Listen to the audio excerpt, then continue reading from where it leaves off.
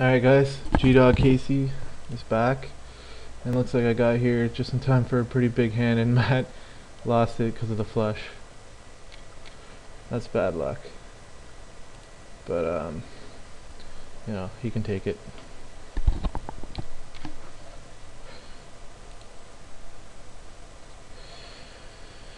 Um, this is video number three.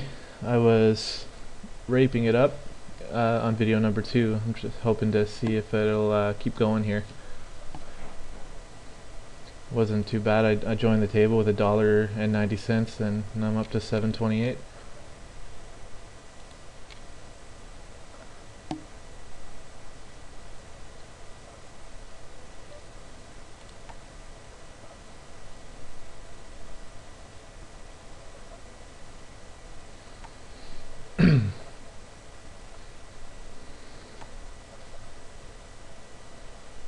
Fully expect a bet. Yeah, uh, it's only two cents. That's surprising. I don't care. I'm not going to call it anyway. That probably means that he had the eight or something.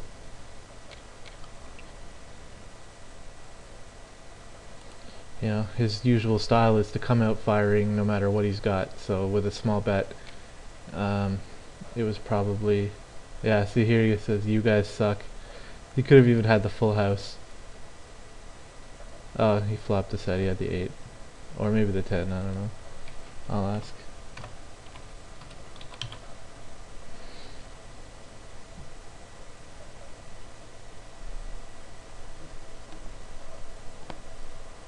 He had ace 8.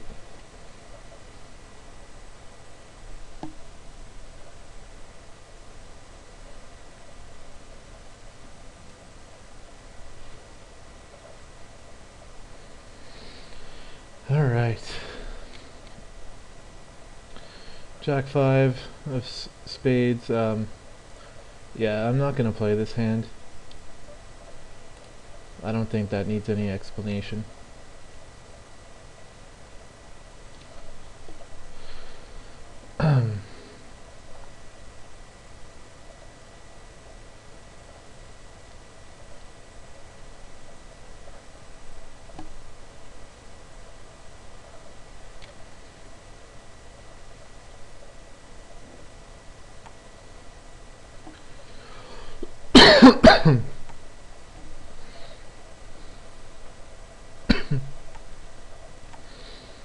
Alright, I'm gonna start. I know I said this before.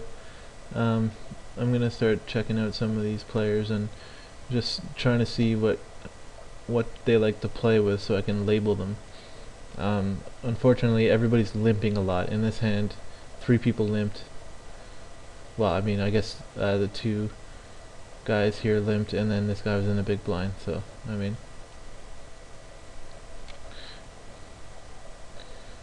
It's kind of hard to, to judge people when they're limping.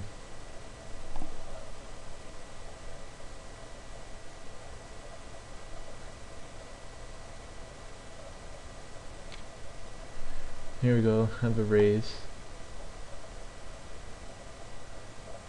But everyone folds.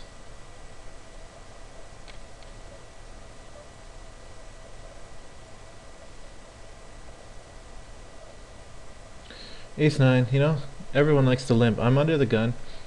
Um, usually pretty bad play, but I mean, I'm not too worried about this table.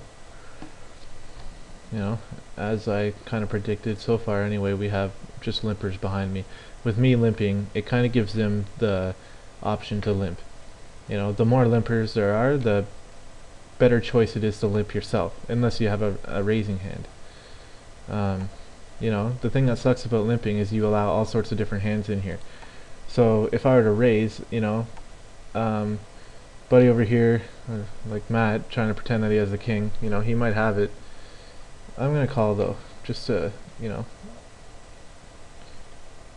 try to get him off it. Now that I see this other king here, I I'm thinking he doesn't have it.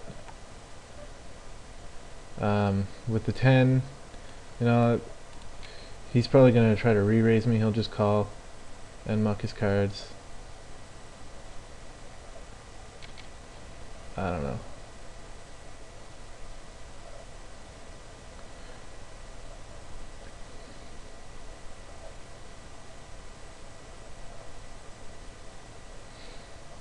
know.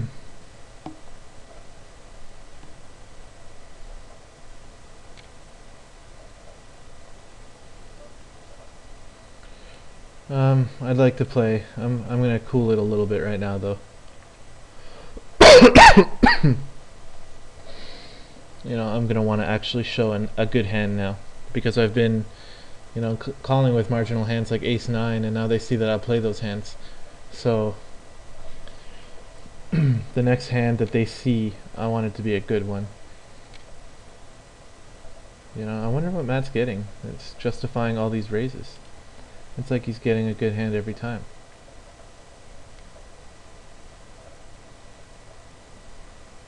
But, you know, the uh, widely known proper strategy to um, play against somebody who's very aggressive, like Matt, is to play tight. You know, I'll only get involved in most pots, at least pre-flop with him if he's raising, if I have a good one. Um, I mean, every once in a while I'm going to mix it up and I'm going to play like a 9-8 against him, maybe a re-raise, you know? Just to screw with his head.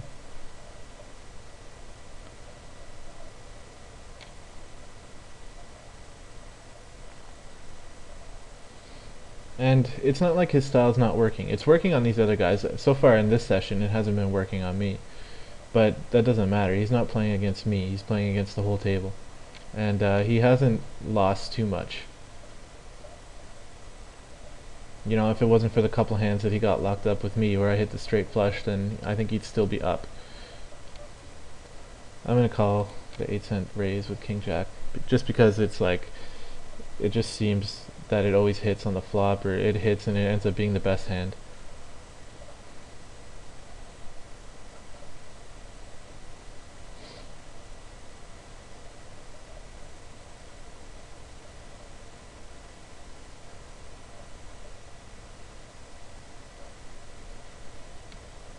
So we got three people in the flop, and there we go. I hit the jack.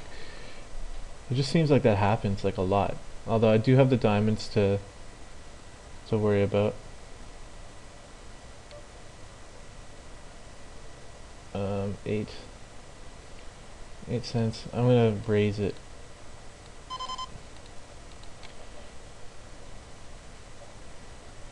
because I don't want him to to catch his flush for free if that's or for cheap anyway if that's what he's chasing. Um,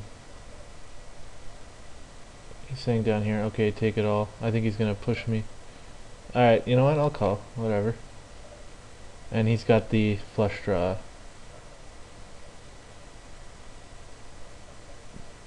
But I actually held up.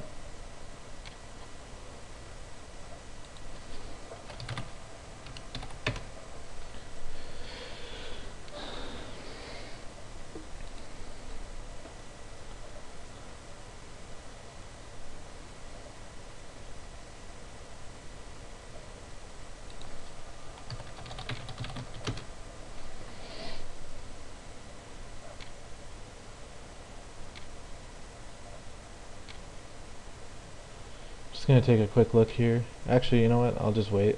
This video is gonna be over in a minute. Um, I have one more hand to play. And I'll limp as well as everybody else with ace 7. It's nice when you limp with a hand like this and then the flop comes up like ace 7 or 7 7 ace. I mean it happens every once in a while and it's pretty nice. Um, you know, as usual this pot is only 8 cents right now. I have two cents invested. It's not worth me raising to try to steal it right now. So if he wants to bet at it, like fine, I'm just gonna fold and uh, you know not not be involved in it anymore, not have to worry. And with that, I'm going to stop this video and start up a new one.